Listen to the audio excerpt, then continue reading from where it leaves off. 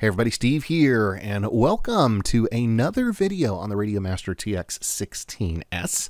Just in case you didn't know, I've got like I don't know, 15 plus videos on this uh, radio alone. Just check the description below for a list of everything that you could possibly want to know about this radio, particularly as it pertains to multi-rotors. I don't fly planes, but if you're a plane guy, check it out anyway. There might be some stuff in there that can help you.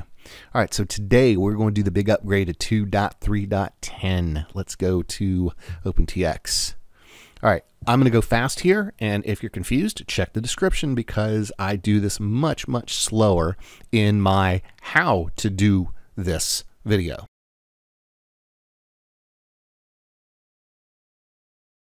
Without further ado, let's get to the getting here. And uh, I'm just going to go ahead and go POW on 2310. By the way, I'm at open-tx.org. And here we are. Here we are 2310 and you can see 2310 looks like a pretty decent update. Lots and lots and lots of stuff. You can read through all this. I'm not going to read a, a list to you but let's just get this thing done. And let's see what we got. We got we got download links. So what i'm going to do is uh, i'm going to grab the sd card. If you've got 239 you still got to grab the uh, sd sd card contents.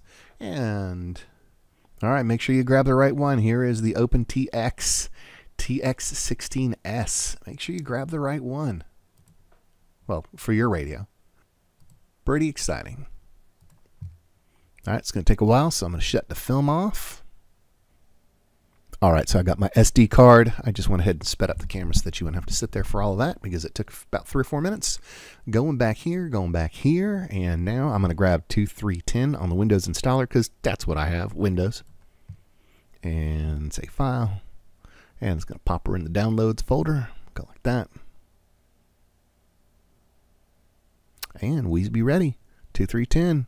Let's go ahead and fire it up. Thank you, Windows, for your concern, but I'm going to go ahead and run it anyway. And say yes. And say I agree. And say next. And say next. And say next.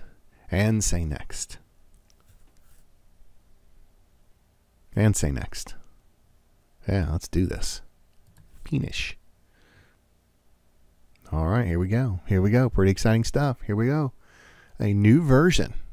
Do I want to download it? Well, hey, thank you for being so kind. Yeah, let's yeah, let's definitely do that. Jeez, made it pretty darn easy. I just added two, 2310 to the file name so that I could differentiate. And I'm going to go ahead and sit, hit that. And then pow, here I am. All right, so now the next logical step is to write the firmware to the radio, but don't do that. All right, so you don't just want to go willy-nilly doing all that kind of stuff. We're going to take T4 and T1, we're going to smash them together. We're going to give this baby some power. And, all right, let's not get confused by this. It says write firmware. Do not, do not do that. That is not what we want to do at this point.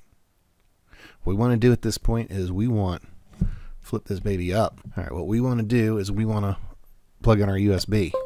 That's what we want to do. And we're going to go back here and you can see it says it says USB connected, all right? That's what we want. Now, we're going to get our couple windows that are going to pop up here and we are going to ignore this one completely. Where's the other one? Here's our guy right here. Now that the guy's plugged in, that's what you're looking for. All right, that's what you're looking for. But let's go ahead and get rid of this window right here, and let's go ahead and pull up OpenTX. So repeat after me. Raise your right hand. Repeat after me. Absolutely, under no circumstances will I flash new firmware to my radio without backing up all my models. Go ahead, say it out loud. So now that we've got our guy plugged in, we're going to go read write, and we are going to read model settings from the radio. And there are uh, there's the new radio, and you can see this says document uh, one. I'm gonna go ahead and say save as. I'm calling it the pre 2310 backup, and I'm gonna go ahead and save it. All right, boom. Now I got my models. Das gut, got models. Now come over to uh, Mr. Write Firmware to Radio and click on them. Okay, so I've done a lot to this radio. That's why mine says Lua No Heli.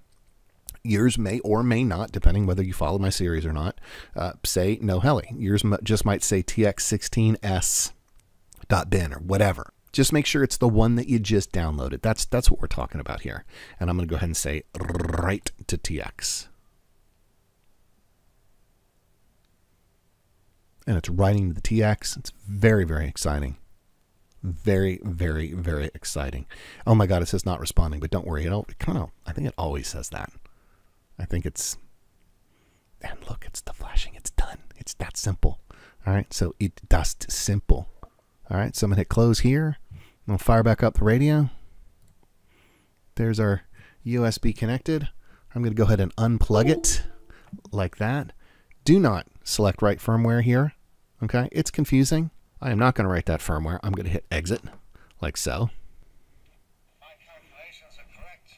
When this baby hits 88 miles per hour, you're gonna see some serious shit. Throttle warning. All right, look at that. All right, so here we are. It's a little bit angry with me because I haven't done the SD card yet. So let me go ahead and press any key. And still got some work to do. So I'm going to go ahead and shut her off. All right, so let's pop these guys together again and go ahead and hit that guy right there, like so. All right, and now we're going to go back into USB mode. So let's flip her up, pop her in, put her down. We're going to get our two little windows that are going to pop up here. There's one. There's one. And the other one's there. It's just tired. There it is right there. I still have to do my SD stuff, but while I'm thinking about it, I'm going to go ahead and go back to downloads. There's my folder where I download stuff. Okay. And then there is this one right here. What I want to do is I'm going to bring this guy up and this latest firmware, all right, the one with the uh, EN2310, all right, I'm going to take him and I'm going to drag him into firmware on the um on the SD card and I'm going to pop him right there. And there he is, okay? All right, so what I'm going to do now is I am going to unplug Mr. USB and I'm going to get this menu right here and I'm going to go to exit and I'm going to click on it. Welcome to OpenTX. Throttle warning. All right, so I'm pop pop throttle down. All right, so the next thing I'm going to do is I'm going to long press on sys and I'm going to page over to get to the card. And I'm going to come down to firmware and select it and check it out. There's the 2310. I want to go ahead and select the 2310 and I'm going to flash the bootloader. And just like that, we should be good. And if you want to know if you're good or not, go ahead and power down. Pop these guys two together. Long press. Poop it on. Poop it. Pop it back on. And you will notice that the bootloader is 2310 and the OpenTX is 2310. So go ahead and hit exit. Pop out of there. Welcome to OpenTX. Switch warning. All right, so the last step to this process is to go ahead and grab all those SD card contents. Uh, if I go back to where I get my downloads, uh, I've got this one right here, but notice that one's from a month and a half ago. I don't want that one, I want version 34. So I'm going to right click, I'm going to extract all, I'm going to say extract.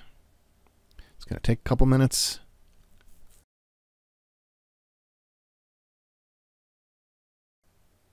So what I'm going to do is I'm going to grab the contents from this 2.3 version 34, all like that, and I'm going to drag and drop them onto the root directory of the USB drive.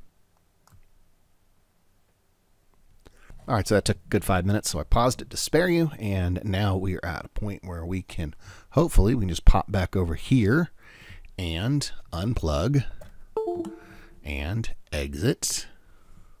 Note the 2.3.10 and the 2.3.10. And if we did everything right, we should go exit, get our warnings. Welcome to warning. All right, and now hopefully we don't get an SD card warning. And we didn't. We're good to go. That is how you know it was successful. Okay, so I'm not going to go through all of the changes. Uh, they're all listed right here on the OpenTX website. Uh, there's a couple cosmetic changes, but uh, looks like uh, the vast majority of this list is performance related, and uh, you can come here and check all this stuff out. All right, so if this is the first video you've ever watched of mine, I really appreciate you watching, but also wanted to call your attention to my Radiomaster TX16S Beginner's How To series. Uh, somewhere in the neighborhood of 20 videos, I think 15 as it relates just to the radio itself. Uh, please check the description below for a link to the playlist. Pretty much anything and everything you'd need to know to get you up and running and more on this TX16S or any other modern day open TX radio. Uh, there's some fun stuff in there as well, and if you've got a Tiny Hawk, there's even more stuff. Most of my stuff pertains to multi rotors, but if you are a fixed wing flyer, check it out anyway. The focus is on OpenTX, and there's probably some stuff that will assist you as well. All right, that's it. That's a wrap. I'm Steve. I'm closing down on this video right here. Please do me a favor if you like the video, like, comment, subscribe, and if you really like the video, hit that bell so you get notifications of future videos that come out. People are always asking how can they give back, and uh, the number one thing that you can do to help me is spread the word, share on social media, let other people know I'm making videos, help other people out, and remember get somebody into the hobby because I'm going to tell you right now that as fun as flying is, it's way more fun when you fly with a buddy. So I'm Steve, cutting out. I'll see you in the next video.